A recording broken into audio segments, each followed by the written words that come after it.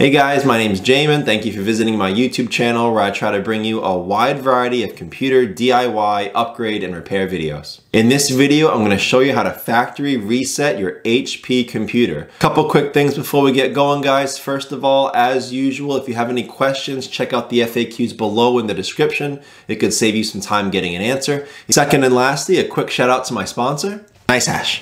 NiceHash is a one-stop shop for all things crypto and the world's largest hash power marketplace. Whether you're new at the whole world of crypto and you just have some questions on Bitcoin, or even if you're an experienced crypto user, the best way to learn more, to get more involved is to actually try mining. And mining on NiceHash is very easy. You don't need any hardware to get going. You can get packages ranging from an hour or more to try to land a block. You can also team up with other people to increase the power of your package. You can click here for more info or at the end of the video, I'll fill you in a little bit more about NiceHash. So now let's get on with the project. So as stated again, the first method I'll show you is from inside Windows, assuming your computer is working fine. The second method I'll show you is if your computer is not booting up to Windows, I'll show you how to get in through the startup options.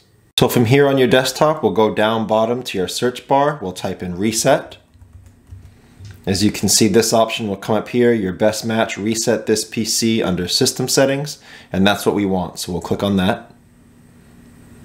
This next box will come up, system recovery, and right here in the middle, the option reset this PC, we'll click here. These are the two options where you have a choice now. The top option says keep my files, removes apps and settings, but keeps your personal files. If you want to save your data, this is what you would choose. The second option on the bottom says remove everything, removes all of your personal files, apps, and settings. So this is what you would do if you wanted to delete everything on your computer and start fresh.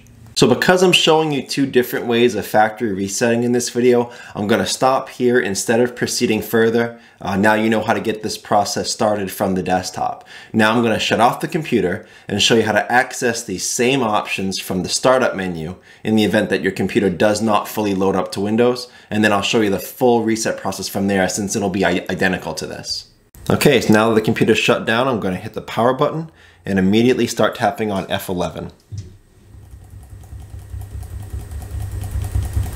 You would keep tapping on F11 until the recovery options come up or until you see this on the bottom left entering factory recovery, then you can stop tapping on F11 as I did. So here on this screen, you would choose the option for troubleshoot on the bottom. You would click reset this PC.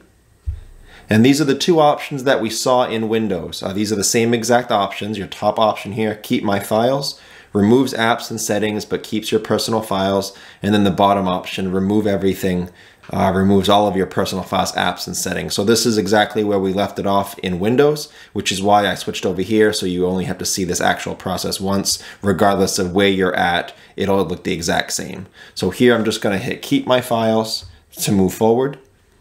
Uh, local reinstall, your bottom option, reinstall Windows from this device. That's what I'm to pick. If you guys have a restore point saved online or anything like that, you can choose cloud. But for the sake of the video, I'm just to hit local. And there it goes. So this is the last time it's going to just double check with you, confirm what you're doing, give you a couple warnings before you cross that line of no return. You can still hit cancel, uh, but this is just letting you know this can't be undone. And it's also giving you a warning, make sure your device is plugged in. Uh, this process can be very long, half an hour, maybe more sometimes.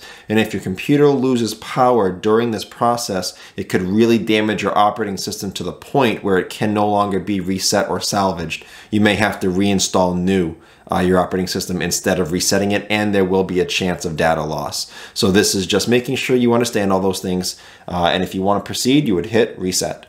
Alright guys, so that's the process to factory reset your HP computer. It's not the most involved process, but it does help to see what you're getting into. One thing to shout out here guys is that after this process, there may be a lot of updates that need to be run in order for your computer to be smooth and fast in its operation. To get to the video that shows you how to run all those updates, click on this link here. It'll show you how to run all those updates, make sure they're all processed fully, uh, so again, your computer can run smoothly.